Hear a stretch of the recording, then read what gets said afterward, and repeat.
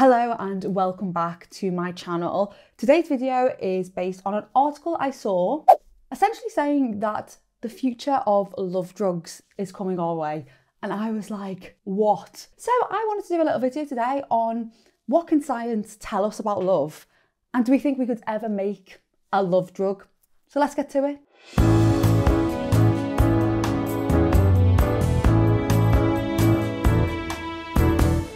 First thing that I wanted to talk about with the science of love is attraction and spark. Because the first thing that normally happens when you are falling for someone is you feel that initial mm, attraction to them. Attraction can be mediated by many different things, like the amount of time you spend with someone. It could also be mediated by how similar they are to people you've been attracted to in the past, how alike they are to you, plus if they make you feel good, if they trigger that sort of feel good sensation. And this could be something as simple as they could smell like someone who in the past you smell and you like them. So there are many different cues around us that can lead us to be attracted to a certain person. And then if you go beyond just attraction, there is that connection as well, the spark that you feel when you are with someone. It could be the case that if you're on, I don't know, any dating app online, you could be on Tinder, Bumble, whatever, you could have a person there who is your exact cup of tea. They tick every single box, and then you meet them in person, and it just isn't right. And what is missing there is sometimes called the spark. A spark is essentially what we use as a meter, a measure of if this person is right for us. It's like a signal to say, yes, this is the right thing, go for this person. What that spark is, yeah, scientists have been a little bit perplexed by what actually causes that connection. And there was a study done in 2021 to try and investigate this using a blind date setup. So what this experiment did was they brought couples in together who'd never seen each other before. They were all single, there was over 100 people involved in the experiment, and they put the couples into two little booths with a partition in the middle. And then what they did was they put the partition down and let the people look at each other for a few seconds before it went up again.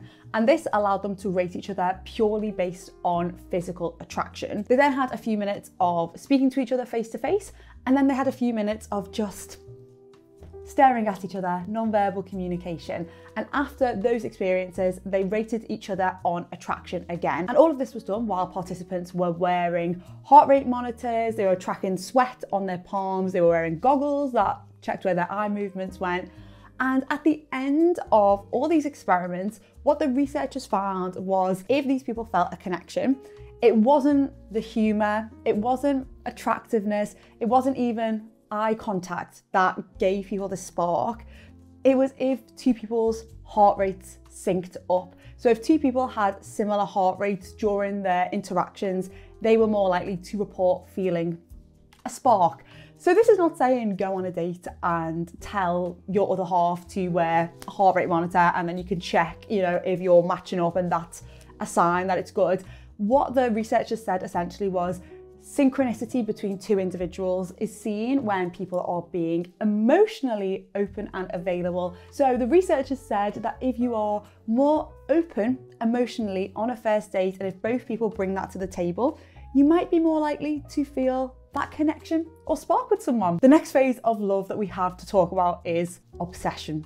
Obsession, because it is sort of an inevitable part of the falling in love process that either if you are seeing a person, you can become obsessed with them, or even if you're not seeing someone and you just really, really like them, they can sort of capture all your attention and they can be all you think about. It's like that person's on the brain day and night. Now, when I was in year nine, I was obsessed with a boy in my school, obsessed with him.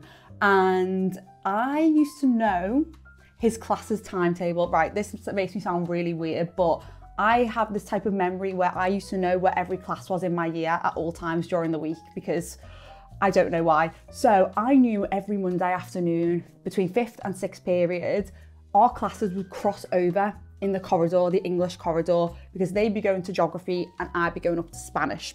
So I had this one crossover every week and I would look forward to that every single week with the chance of this boy smiling at me and I could just be like. It's not normal behaviour, is it? It's not normal, but We all do it. It happens to the best of us when we are falling in love. We get obsessed. A particular hormone has been implicated in this feeling of obsession, which is serotonin. So, serotonin is a neuromodulator, it's found in the brain, it influences brain cell activity.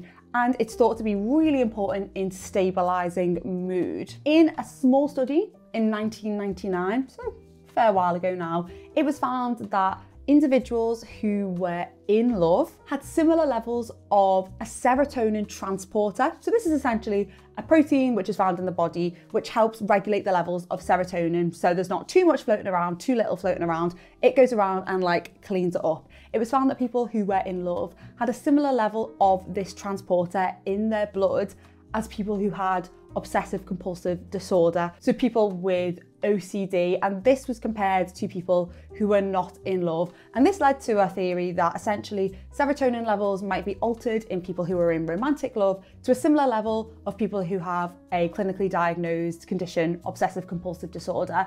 And this serotonin change in level might be what is driving people to become fixated on that person that they love. A more recent study in 2017 looking at the levels of actual serotonin in the blood didn't quite find this same relationship in terms of serotonin being altered in people who were in love in the same way. They found that in men who were in love, the levels of serotonin were lower, and in women, the levels of serotonin were higher. So it's still unclear how serotonin sort of works in love and in this obsessive component that we get onto someone, but it looks like it could be involved. With obsession as well, something that is key with this is that obsession can become a habit. The more you think about someone, the stronger the connections between brain cells that are associating that person with potentially feeling good about yourself and you're daydreaming into the future, which also feels nice.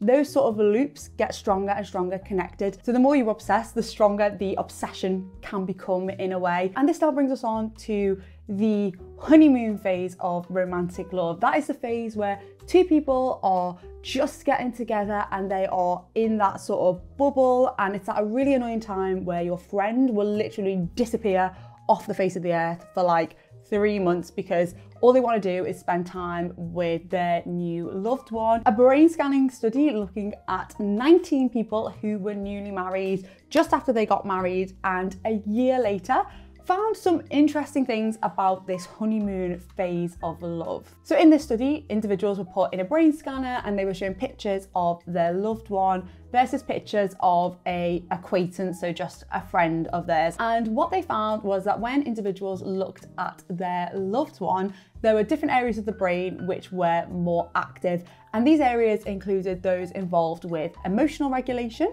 those involved with attention, and also areas which we know are involved in reward. Our reward pathways, which are largely under the influence of a chemical called dopamine, are involved in, yes, making us feel good, but also in motivating us. Dopamine's release can essentially help to solidify actions which the brain has detected as being good for us. So, being around an individual who we really love and care about, if there is dopamine release there from these reward centers, that's essentially saying to the brain that being around this person is good for us and that reinforces wanting to be around them more. Something else interesting in this small study was the researchers actually looked at the genetics of these 19 people who had just been married and they studied particularly four genes. And these four genes all code for chemicals or their components which we think are involved in romantic love, like dopamine and other hormones as well. And what they found were some people with certain changes to these instructions were less likely to stay in romantic love for as long as people with different instructions. Now, this was a really, really small study, but what this is essentially saying is that in our genes, we are coding for all of these chemicals which are involved in love.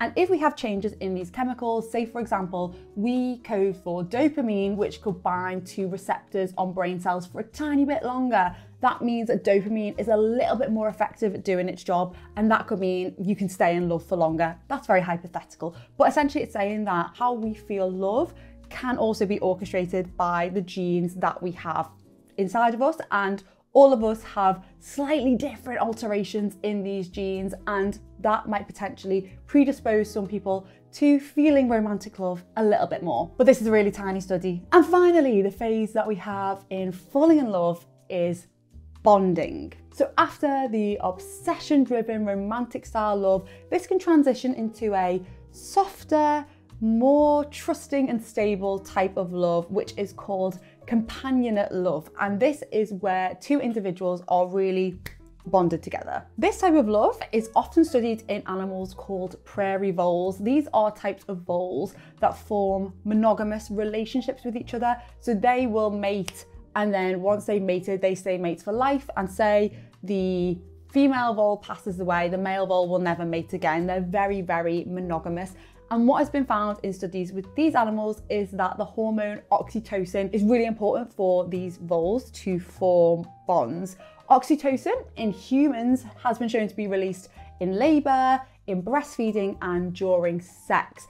But it's not thought that our reliance on oxytocin for forming bonds is as strong as in these animals. In these animals, if you manipulate oxytocin levels, it really does disrupt the animal's ability to make bonds. And also, if these animals are addicted to other substances like amphetamine, so if the male is addicted to amphetamine before he bonds with a female, he's not interested in bonding with her anymore because he has his rewarding stimulation from another substance. But if these voles are already bonded together and then offered drugs, they don't want them. So in research, it's thought that having oxytocin floating around actually lowers our walls, if you will, and enables us to form these bonds with people but there are many other chemicals probably involved, many other pathways. Oxytocin binds to many different cells in many different organs. So its function is very complex and so it's hard to boil it down to just oxytocin being this love hormone. But that is what's led to these sort of love drugs being created.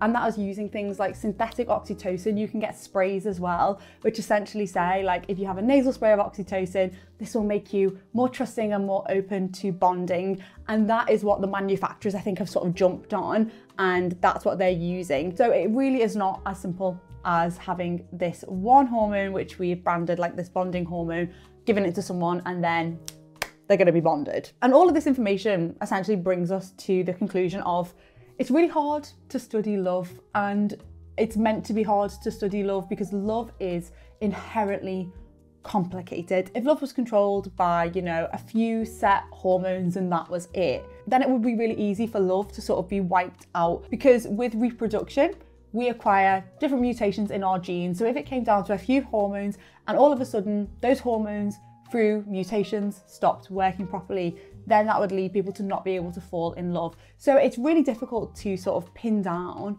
what love is in terms of chemicals. We also can't look in the brains of people who are in love except for using brain scans. So we can't look at these hormone levels and neurochemical levels actually in the brain live while people are in love. And the studies are always really, really small for these types of experiments because you've got to get people in a brain scanner. And love is different for each and every individual because we feel love based on an accumulation of our different experiences. Love means different things to different people, how we've been brought up, how we've seen love. So, trying to get a group of people who are in love versus not in love, that's a really difficult thing. But using some of the chemicals involved in love to make drugs, I mean, yes, that can do that, but we've got to remember these chemicals and hormones do a lot more than just facilitate some small component of falling in love.